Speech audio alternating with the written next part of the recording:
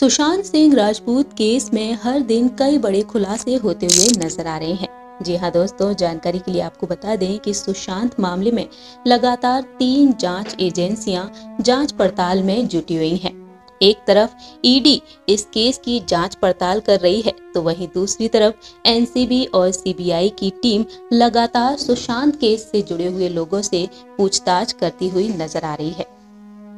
अब तक सुशांत सिंह राजपूत केस में कई लोगों की गिरफ्तारी हो चुकी है।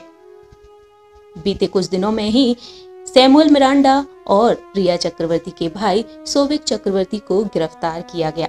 लेकिन शनिवार की शाम सुशांत के स्टाफ दीपेश सावंत को एनसीबी ने गिरफ़्तार कर लिया था और इस दौरान रात भर दीपेश से कई सवाल किए गए। लेकिन हाल ही में दीपेश सावंत ने कई बड़े खुलासे किए हैं। रिया चक्रवर्ती को लेकर दीपेश ने एक बड़ा बयान दिया है। जानकारी के लिए आपको बता दें कि दीपेश ने रिया के खिलाफ गवाही दी है। रिपोर्ट्स के मुताबिक सामने आया है कि दीपेश ने कहा है कि घर के लिए रिया के इशारे पर ही ड्रग्स मंगाए जाते थे। जी हाँ ड्रग्स मामले में लगातार रिया चक्रवर्ती फंसती ही जा रही हैं। ऐसे में देखा जाए तो रिया चक्रवर्ती की मुश्किलें अब और भी ज़्यादा बढ़ गई हैं। जानकारी के लिए आपको बता दें कि दीपेश ने इतना बड़ा बयान दिया है, जिसके बाद अब एनसीबी की टीम किसी भी वक्त रिया के घर पहुंचकर समन कर सकती है। ऐसे में देखा जाए तो रिया चक्रवर्ती की मुश्किलें अब और भी ज़्यादा बढ़ गई हैं।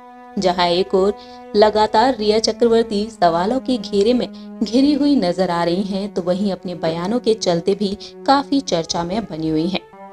हाल ही में पूछताछ के दौरान एनसीबी के सामने सैमुअल मिरांडा ने भी रिया चक्रवर्ती के ड्रग्स कनेक्शन पर कई सारी जानकारी दी थी। तो वहीं रिया चक्रवर्ती के भाई सोविक चक्रवर्ती ने भी रिया चक्रवर्ती को लेकर बयान दिया था। एनसीबी की टीम, जिसमें महिला अफसर भी शामिल हैं। रिया के घर आज किसी भी वक्त पहुँच सकती है एनसीबी की टीम। ऐसे में देखा जाए तो अब रिया चक्रवर्ती और भी ज़्यादा सवालों के घेरे में फंसती ही जा रही हैं। जानकारी के लिए आपको बता दें कि लगातार रिया चक्रवर्ती को लेकर कई बड़े खुलासे होते हुए नज़र आ रहे हैं। ऐसे में आपको बता दें कि कयास लगाए जा रहे हैं कि रिया चक्रवर्ती अब इस मामले में गिरफ़्तार भी हो सकती हैं। रिया के भाई सोविक चक्रवर्ती गिरफ़्तार हो चुके हैं और उन्हें रिमांड मिलने के बाद से ही कयास लगना तेज हो चुके हैं। ऐसे में रिया की गिरफ्तारी को लेकर लगातार कई बड़ी खबरें सामने आ रही हैं।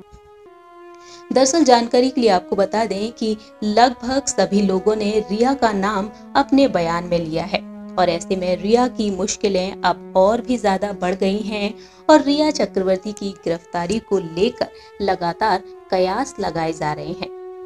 हमारी इस खास रिपोर्ट में दर्शकों इतना ही। तब तक के लिए आप देखते रहिए नेक्स्ट नाइन न्यूज़।